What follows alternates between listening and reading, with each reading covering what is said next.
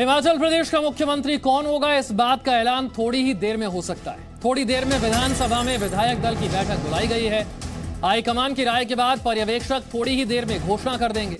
कांग्रेस के नेता सुंदर सिंह ठाकुर ने इस बारे में जानकारी दी है। चार बजे के वक्त का ऐलान किया गया था कि चार बजे विधायक मिलेंगे और मुख्यमंत्री के नाम का ऐलान चार बजे के बाद कभी भी हो सकता है। कांग्रेस के नेता सुंदर सिंह ठाकुर ने यह बयान दिया था। थोड़ी ही देर में मुख्यमंत्री के नाम की घोषणा होने वाली है।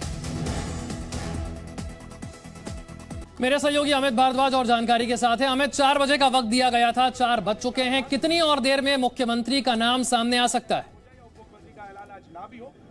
शपथ कल ही है तो देखिए लगभग एक घंटा और लग जाएगा मैं आपको बता दूँ कि उसके बाद जो है वो मुख्यमंत्री का नाम का ऐलान हो जाएगा। जिसके हम चेहरे की बात कर रहे थे वो सबसे ज़्यादा रेस में आगे थे। इतने में प्रतिभा सिंह पहुँचती हैं अपने सभी जो समर्थक हैं जो उनके विधायक उनको लेकर और फिर एक बड़ी लंबी बातचीत चलती है। वो कह रही है कि एटलीस्ट डिप्टी सीएम का पद जो है वो ज़रूर उनको मिले और मंत्रिमंडल में जो है उनके सबसे ज़्यादा लोग हों। तो अभी पेज फंसा हुआ है। सुखविंदर सिंह सुक्कू का नाम आ रहा था फिर एक राजपूत नेता का नाम लोअर हिमाचल से जो है, वो वो भी सामने आ रहा था। तो एक चीज़ ये थी कि फाइनल लगभग हो चुका था और एस्कॉट्स लग चुकी थी और एक मैसेज गया था कि आप तैयारी कर लें कि अब हम अनाउंसमेंट करने वाले हैं और फिर आपको एक प्रोटोकॉल को जो है, वो फॉलो करना पड़ेगा और पूरा प्रोटोकॉल जो है, वो वो सामने जो है, इस पर चर्चा हो चुकी थी। अभी बस एक घंटा लगभग और लगेगा और उसमें जो है, नाम की अनाउंसमेंट हो जाएगी। हो सकता है कि कांग्रेस आलाकमान अचंबित करे, लेकिन इस समय जो हमारे सोर्सेज है, वो बता रहे हैं कि लोअर हिमाचल से एक राजपूत चेहरे को लाने की तैयारी में है। तो अब देखना यह है कि किस तरह से क्या होता है। जो दर्शक अभी हमारे साथ जुड़े हैं उनकी जानकारी के लिए जरा बता दीजिए कि अब तक कौन कौन से नाम रेस में है और अगर उन्हें चुना जाता है तो किस आधार पर चुना जाएगा? फैसला किस आधार पर होगा?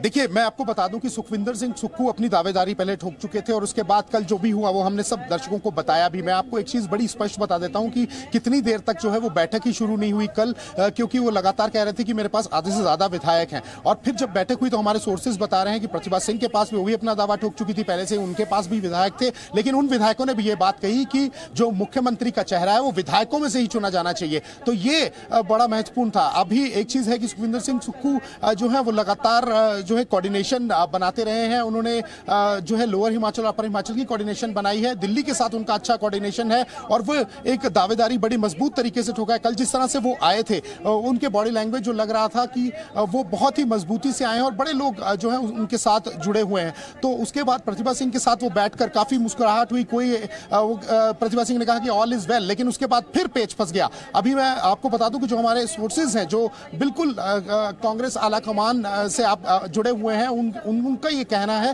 कि प्रतिभा सिंह दोबारा से आई, जैसे उनको पता लगा कि सुक्खू का नाम जो है वो फाइनल होने वाला है, फिर वो वापस आई और फिर जो है एक चीज़ बड़ी सामने निकल के आई कि उनको एक पद जो है वो डिप्टी सीएम का भी चाहिए और फिर मंत्रिमंडल में बहुत सारे लोग जो है वो उनके वो चाहती हैं। तो इसको लेके अभी पेज फंसा हुआ है, एक घंटा लगभग और लगेगा, लेकिन जो कि आला है, वो एक और नाम पे विचार कर रही है। मैं आपको बता दूँ कि छह से सात नाम थे, जिसमें राजेंद्र राणा का भी नाम था, मुकेश अग्निहोत्री का भी नाम था और जिसमें जो है और वरिष्ठ जो नेता थे उनका भी नाम आ रहा था। पीछे जब बात कर रहे थे तो कुलदीप राठौर बिकॉज़ उनका भी जो है वो पैंतालीस साल से कांग्रेस की सेवा कर रहे हैं। पहली बार विधायक चुन के आए हैं लेकिन उनका हैं। हिमाचल तक अच्छा तस्वीर हम दर्शकों को दिखा रहे हैं जहाँ पर सुखविंदर सिंह सुखू जो है वो प्रतिभा सिंह के साथ कुछ चर्चा करते हुए नज़र आते हैं। जिस तरीके का माहौल इस वक्त हिमाचल में है इस तस्वीर के कई मायने हैं। जरा इस तस्वीर के बारे में बताइए जहाँ पर सुखविंदर सुक्खू और प्रतिभा सिंह आपस में खड़े होकर चर्चा करते नज़र आते हैं बातचीत करते नज़र आते हैं।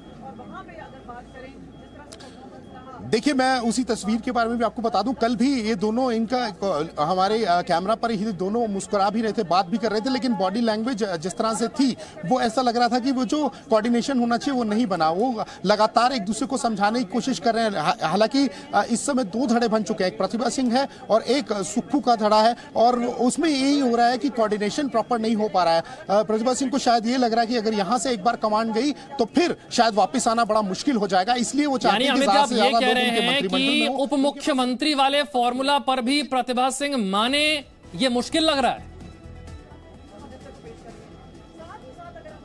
बिल्कुल बिल्कुल क्योंकि वो चाहती है कि जो उप मुख्यमंत्री है और प्लस जो जो कैबिनेट में मंत्री होंगे उनकी जो जो है वो दावेदारी ज़्यादा होनी चाहिए उस पर आप उस पर भी देखना है कि किस तरह से क्योंकि कोऑर्डिनेशन आगे पाँच साल के लिए करना है। अगर हल्का सा भी कोई जो जैसे कि हमने छत्तीसगढ़ में जो है पीछे देखा था फिर राजस्थान में हमने देखा था तो अच्छा ये, आपसे सारी चीज़ें जो है वो क्या जो इस वक्त कि जानकारी है जो ताज़ा जानकारी है क्या सुखविंदर सुक्खू के नाम पर सहमति बन गई है? सूत्र ऐसा बता रहे हैं क्या अभी?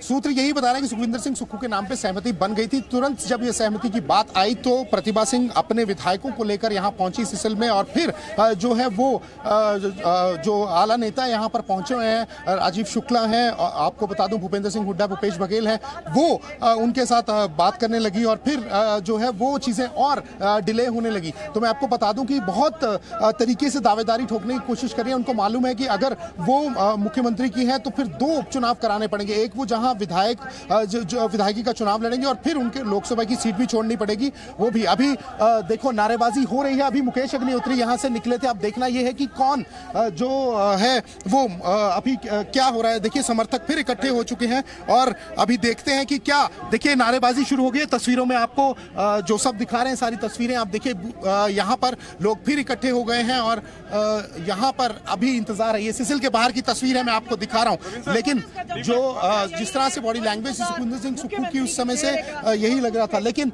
ये बात सोर्सेज कह रहे हैं कि कांग्रेस जो है वो अचंभित कर सकती है एक ऐसा नाम लेके आ सकती है जिसमें किसी को भी कोई दिक्कत है होगी। मैं आपके पास आऊँगा। जल्दी से एक बार ये तस्वीरें फिर से दिखा देते हैं क्योंकि इन तस्वीरों के कई मायने हैं। इस तस्वीर में जो दो शख्स नज़र आ रहे हैं कल तक ये मुख्यमंत्री की रेस में सबसे आगे थे।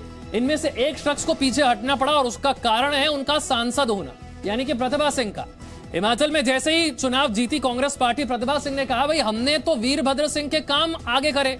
हमने वीरभद्र सिंह का नाम आगे किया और उसी के नाम पर, उन्हीं के काम पर जनता ने वोट दिया। तो वीरभद्र सिंह के परिवार को आप नजरअंदाज तो कर नहीं सकते।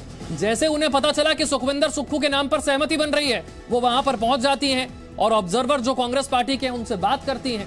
उन्हें एक फॉर्मूला सुझाया जाता है। सूत्रों के हवाले से खबर यह है कि उनके सामने एक फॉर्मूला रखा जाता है कि, भाई, आप ना सही तो परिवार से एक और सदस्य, उसे उप मुख्यमंत्री बना दिया जाए। लेकिन मेरे सहयोगी अमित भारद्वाज बता रहे हैं कि शायद ये वाला फॉर्मूला भी काम ना करे। परिवार से एक सदस्य को पद देने पर अड़ी हुई है प्रतिभा सिंह, लेकिन क्या वो पद मिल पाएगा? क्योंकि मुख्यमंत्री पद की रेस में वो थी पहले।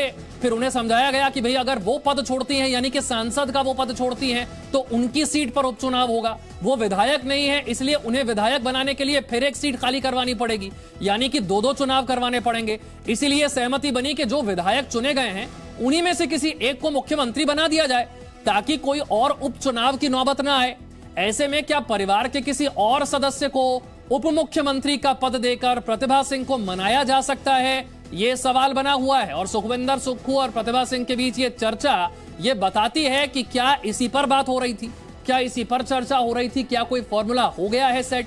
और क्या आपसे थोड़ी देर में इसका ऐलान भी हो जाएगा? ये देखिए, हिमाचल में सीएम पद की रेस में दो नाम सबसे आगे थे सुखविंदर सुक्खू और प्रतिभा सिंह।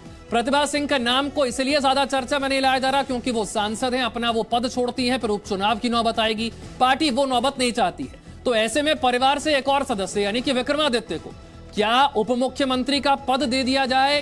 तो इस वाले फॉर्मूले पर सहमति बन सकती है। सुखविंदर सुक्खू, मुख्यमंत्री विक्रमादित्य उप मुख्यमंत्री क्या ये वाला फॉर्मूला चलेगा? अब से थोड़ी देर में यह बात स्पष्ट हो जाएगी। तो कौन होगा हिमाचल का मुख्यमंत्री? अब से थोड़ी देर में साफ़ हो जाएगा। हर अपडेट लगातार आप तक पहुंचाते रहेंगे।